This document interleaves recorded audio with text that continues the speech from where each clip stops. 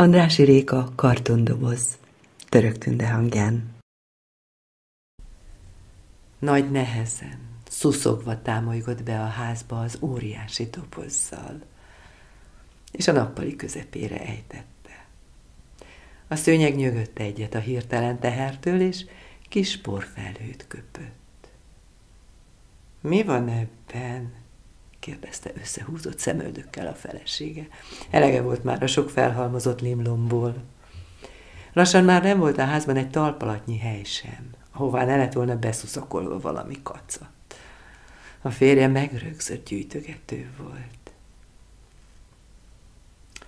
Kidobott álmok vannak benne, válaszolta a férje. Malomtalanítás volt a munkahelyem közelében, és kicsit oda kukkantottam. Nem volt szívem ott hagyni ezeket. Olyan árván csörögtek ott a sok szemét között. Miközben beszélt, lassan kinyitotta a doboz tetejét. Ahogy kihajtotta a vastag kartonfedelet, a képződő résen mindenféle álmok kezdtek előkászálodni, és lassan szétszélettek a lakásban. Az asszonyon mérhetetlen méreg lett urrá, és már pont levegőt vett a kiabáláshoz, amikor vékonyka gyerek sírása lett figyelmes.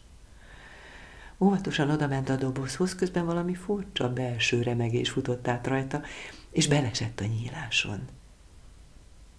Egy kerek, csecsemő forma álom feküdt a doboz alján, és mikor meglátta a fölé hajló asszonyt, abba hagyta a sírást kireppent, halkan kuncogva körberepülte párszor a szobát, végül elhelyezkedett az asszony ölében, kicsit fészkelődött és elaludt.